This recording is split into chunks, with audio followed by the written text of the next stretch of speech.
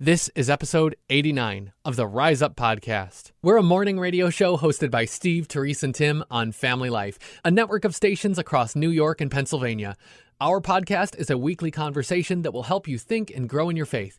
If you haven't already, subscribe today so you don't miss a single episode and find out more about our show at familylife.org. Thanks for making us part of your morning routine. It's Rise Up with Steve, Terese, and Tim on Family Life apples, apples everywhere. How do you like mm. them apples? One thing I do want to say about the apple that is sometimes thought of like, oh, in the garden, oh, don't eat the forbidden fruit, the apple. Well, no, we don't know it's an apple. we don't know that. Right. We don't true. know that. Yeah. I feel so, like it was more of a nefarious fruit, like a kiwi with a super thick skin. Oh, nefarious! Like, but it was oh, wow. good. It was good to look at. It looked like it would be tasty and good for food. Right, so it's something true. that looked inviting.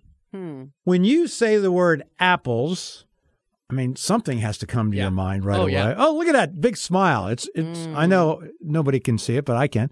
Um, so what's about my the, big smile? Yeah, your big smile. I got a big apple's smile. big smile. So yeah. what comes to mind? Oh, apple picking with my wife and our little baby girl. That's what comes to mind. I love it. Mm-hmm. It's kind of become something like of a tradition. I mean, we're in a if if you live in a beautiful area for this kind of thing, then you really just got to take the advantage with the orchards and getting to be out there on a crisp fall day. But it's a beautiful thing. We got to do it again this year, and I was thinking to myself, thinking to myself out there in the apple orchard as these trees are just burgeoning, bursting with ripe, juicy apples. I mean, so many that you can hardly pick one without half a dozen others falling off. You feel bad because you feel like they're just all falling to the ground. But it's just because these trees are so full of this amazing fruit.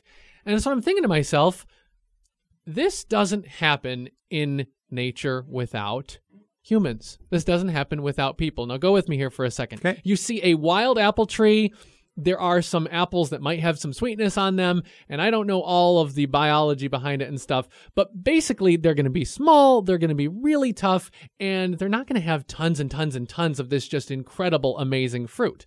You might find some, but these apples, like you get in an orchard, they're the result of, of farmers. They're the result of scientists in, in some cases. They're the result of people who know what they're doing and who do it generation after generation. Now, I say this because it's interesting. There are people who would have you think that the only possible effect that we humans can have on the world around us is a bad one. Oh, we are the invasive species. Oh, we are the worst thing that ever happened to this planet. Leave all that off for a second and just realize God made us and put us where first? In a garden. He put us in a garden to tend it, and our proper relationship to the world around us is to make it better, is to bring more fruit from it uh, apple trees on their own, they can get choked out by other things. They can kind of produce these little fruits that aren't super useful for all kinds of stuff.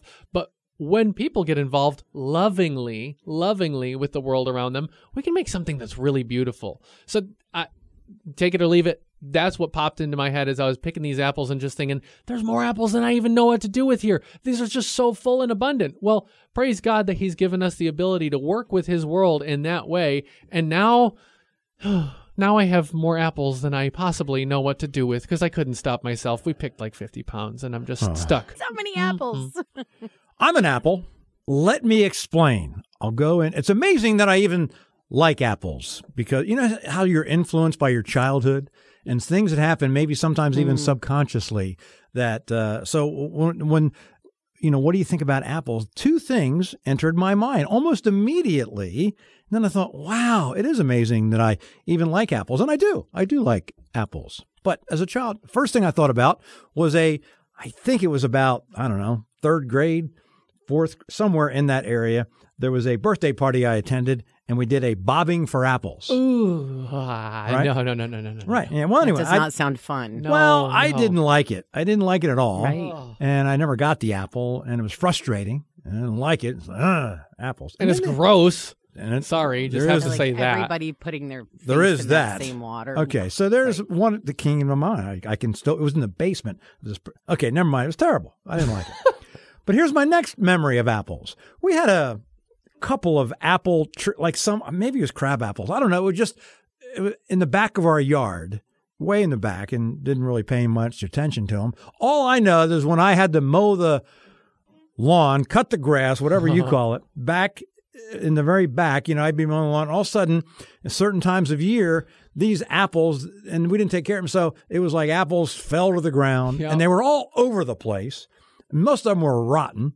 And it Mm-hmm. smelled bad back there because it was rotten apples. And all I knew is every time I cut the grass, I had to go back and there was grass around it. So I was like, ugh. So between the examples of the bobbing for apples, which is all the bad things we all talked about, and then the smelly, rotten apples that I had to cut the grass when I was a kid, it just wasn't very pleasant. So then I thought, the reason I said I'm an apple is like, you know, at one point, I wasn't all that pleasant in my life either because I didn't turn my life over to Jesus until later. And and it can be said that, you know, maybe I didn't smell so good in the spiritual realm and and things. And um, so yeah, life can turn around. I like apples now. Isn't it amazing that I love a good crisp apple. Oh, it's so, so good. Even though I had the memory and the history of like apples, no, I'm not all that good. And so sometimes I'll just think of God going like, hey, look, hmm. look, that's my, he's, oh, he's the apple of my eye, right? Hmm. Hmm, there you Yeah. go. That uh, it can turn around. It can go from something that is not so good and not so pleasant into something really, really good. So I'm an apple. How about you? I love that you brought up that scripture.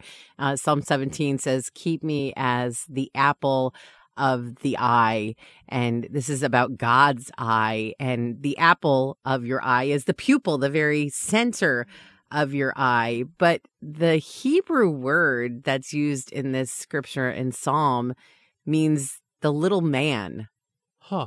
Hmm. And so I don't know if you've ever stared into somebody's eye, you know, into their pupil, and maybe you see yourself, Wow. you know, in the Mhm. reflection, and you know that all Yeah. they can see is is you, Mhm. and that's kind of what this is about. Uh, Mm. you know, it's this prayer that God would be watching me, and this little man would be reflected, and it got me thinking about God, the man, Jesus and how God the Father must have been watching the baptism of Jesus. And what does he say? He says, This is my son in whom I am well pleased.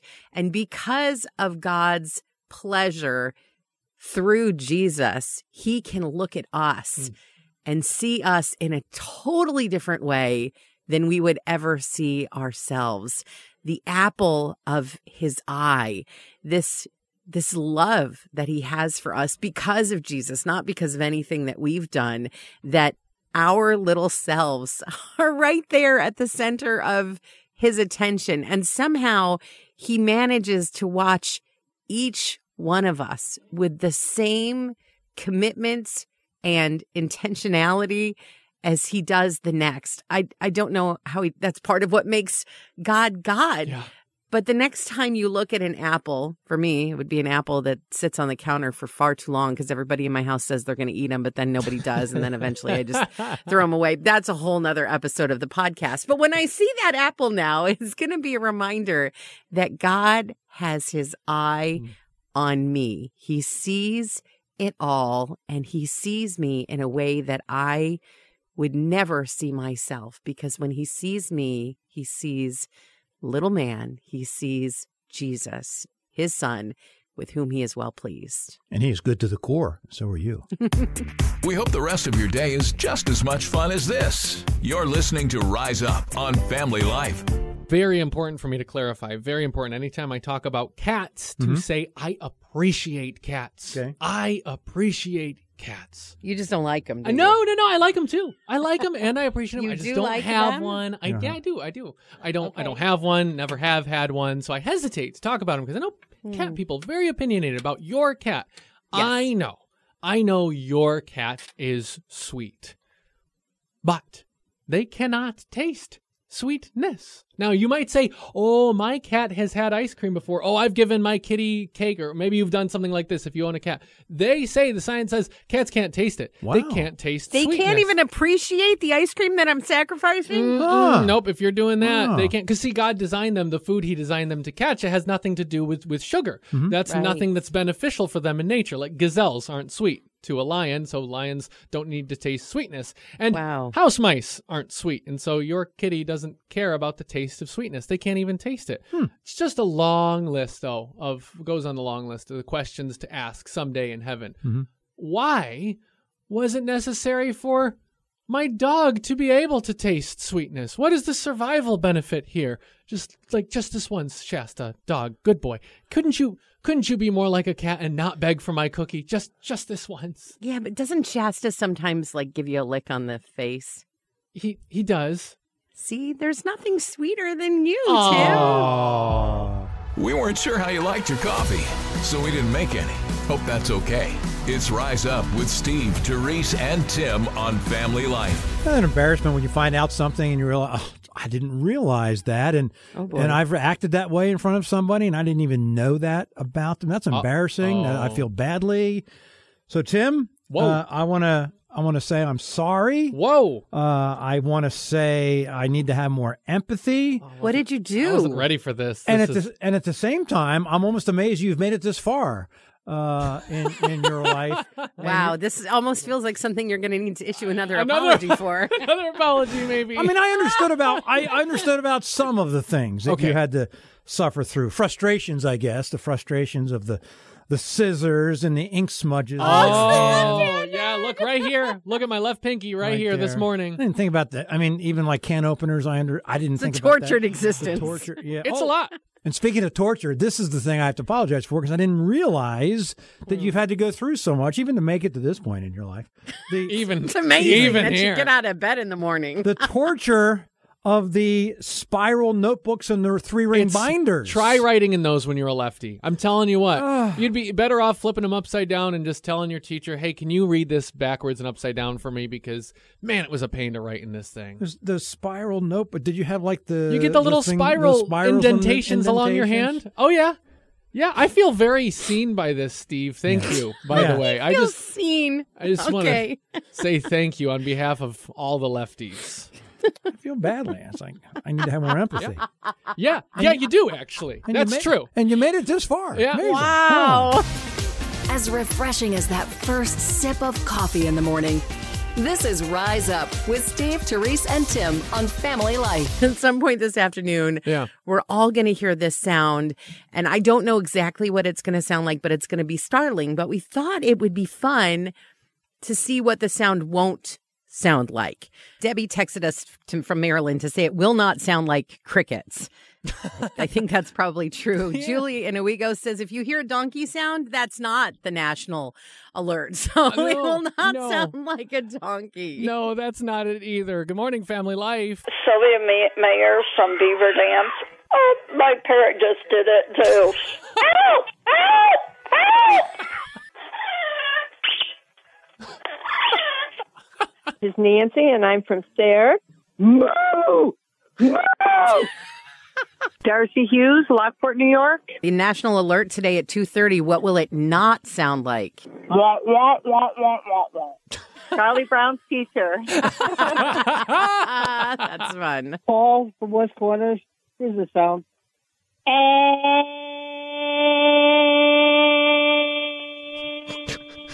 You know what's weird? I feel like it might actually sound like that. that that could actually be what the sound is going to be. We'll find out today at 2:30, right? You might have gotten it. I feel like maybe the national alert system ought to hire you. You could just do that live every time we need an alert, you know? Anyone else wish morning started just a little later?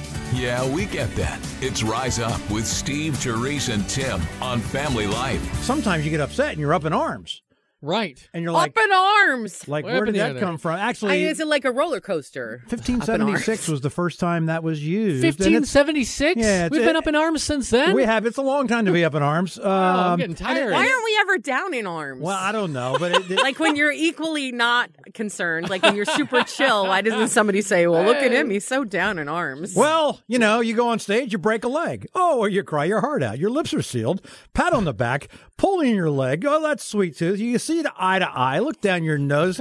Cross an arm and a leg. Give in the cold shoulder. Get off my back. Here's one I've never heard of before. Huh. Foot in mouth. What is that? Live demonstration from six to ten weekday mornings on Family Life. today is going to be great. We just know it. This is Rise Up with Steve, Terese, and Tim on Family Life. See you later, alligator. Hey. In a while, crocodile. Different ways to say goodbye Hmm. with animals, like take care, polar bear. Oh, Is there one that your okay. family has or that you can come up with? Chow, chow, chow. Like, you know, the dog breed, the chow chow? Good morning, Donald from Henrietta. Out the door dinosaur. Oh, oh I like it. Out the door dinosaur. Oh, stomp out the door on that one. My name is Jill, and I'm from Earlville, New York. Arriva Turkey. Ha! Arriva, arriva turkey. When my son was little, he couldn't say Arrivederci. He said Arriva Turkey. So it just it just stuck. Vaughn from Jamestown. Pretty soon, raccoon. Ooh, pretty soon, raccoon. I like good. that one, Vaughn. All right. Right onto Broad Street. Uh, my name is Jerry, and I'm calling from Oil City, Pennsylvania. Oh, wait, I gotta go. Okay. Hello, kangaroo. I like that one. Hey, we'll just we'll just bounce, all right? We'll bounce. My name's Dottie, and I'm from Ithaca, New York. Something we use all the time at my husband's dental office. We have a bunch of Christian patients, and we say goodbye to each other by saying, "See you here, see you there, see you in the air, anywhere. I don't care." May the blessings of the Lord be with you in all that you do today. This is Rise Up on Family Life.